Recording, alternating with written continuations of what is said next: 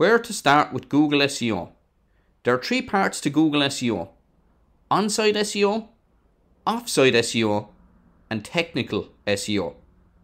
On site SEO includes things like keyword optimization, optimizing titles and tags, and creating content.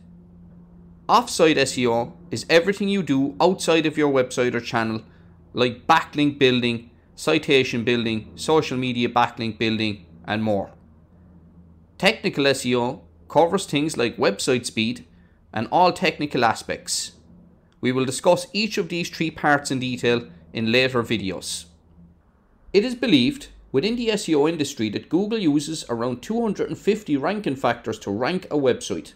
These range from on-site SEO factors like using the right keywords in the right areas of your website, creating great content on your site or YouTube, to technical SEO like page load speed of your website and off-site factors like how many backlinks or directory links are pointing to your website.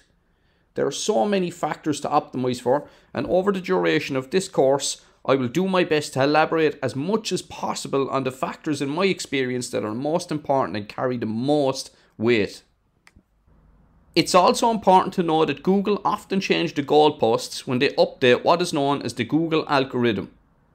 Experts believe that these updates happen around 500 to 600 times per year, or once or twice a day. However, some of Google's algorithms are very well known and much bigger than your typical small update. In fact, so big that a lot of sites see a huge increase or decrease in ranking positions. Some of the main updates are the Florida update, the Panda update, the Penguin update, RankBrain, and most recently the Google Core Vitals updates. However, most changes are much smaller, and some Google algorithm updates even go completely unnoticed because their search engine result page's impact is so low. Know your purpose and Google's purpose.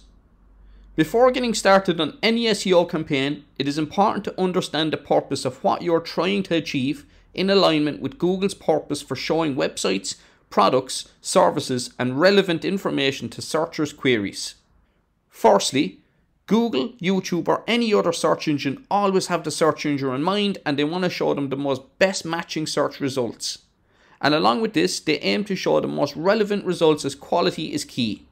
Showing good results ensures that the searcher will use their search service going forward into the future.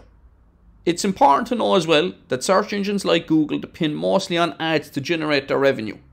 Google, for example, show relevant paid ads at the top of search results pages for search queries. Relevant ads or best matching ads work great for the searcher and the advertiser. If the advertiser is getting good results from the ads, they keep coming back to run more ads and Google generate more revenue and likewise, the searcher is happy that Google is helping them find exactly what they need.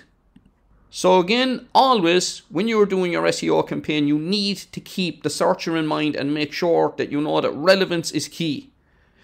You want to make sure you're optimizing for keyword search terms that your exact audience are looking for to find products and services like yours.